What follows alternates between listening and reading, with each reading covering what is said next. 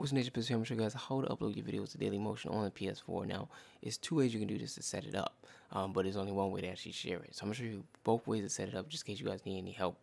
Um, so what you can do is go to settings, go to PlayStation Network slash account management, go to link with other services, and as soon as this load, um, this seems like it's been taking a lot longer with the new update, uh, with the whole, you know, please wait and everything like that. But once you get through that, this comes up. You can click on Daily Motion and then you can go ahead and sign up from there. Um, the other way of doing it is going out. Let's go all the way out.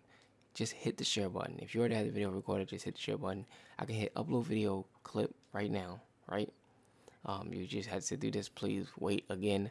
Um, but as soon as that's up, it's going to ask you do you want to share the different things? Um, I think right now all we can do is send to Facebook, YouTube, and Dailymotion. So I'll go ahead and choose the video I want right now. And you can see I can upload to Facebook, YouTube, and Dailymotion. I can click Dailymotion and then it will ask me to sign in that way.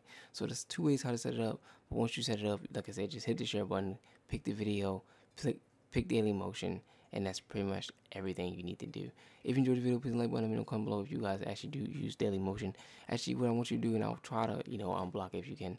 Link me your Daily Motion if you're a gamer YouTuber. I want to know how many people actually is on Daily Motion uploading gameplay. If you enjoyed it, please like button, make sure you subscribe if you're new. Make sure you guys add me on PlayStation if you guys want to play with me, and I'll see you guys in my next video. Peace.